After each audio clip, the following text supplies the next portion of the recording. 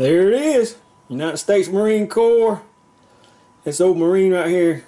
During the first Persian Gulf War, we was over there in 91. And uh, he suited up with his uh, CBN uh, suit. Chemical, biological, nuclear suit.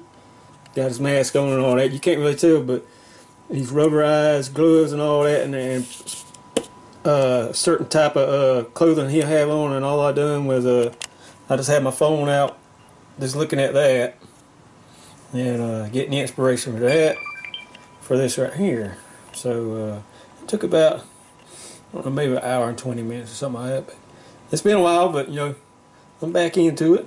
But uh, I think it turned out what it turned out pretty good with shading and everything, and light is coming in this way on a suit. I don't know if y'all can see that right here, but yeah, about an hour and 20 minutes. And I, I normally I start out with mechanical pencil, and then I go to a, either a micron or a Copic uh, uh, pen. Then I go to a Copic uh, sketch markers to get all the detail and them darks and all that. Come back with shadows with darker grays anyway. So Brad, thank you for watching. It's been a while, but I'm back. Yeah, thank you. Bye.